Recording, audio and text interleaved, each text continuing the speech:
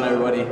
I am here with a man that needs no introduction, Mr. Alfonso Washington. Uh, Big Al, what, what happened to you today? I got the uh, 2010 uh, Competitor of the Year Award for uh, Brazilian Jiu-Jitsu. Give a little speech to uh, everybody out there in the spy cam world, uh, just to talk about pretty much what this means to you, and that's it. You can, it's, it's, it's you, baby. Pretty, uh, pretty big award uh, for me. Um,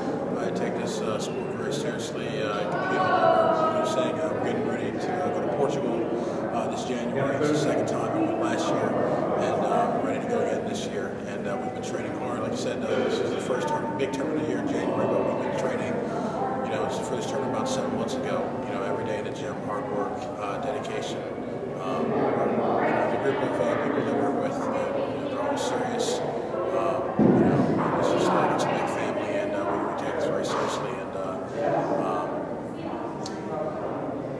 much else that I have to say except for I appreciate everything.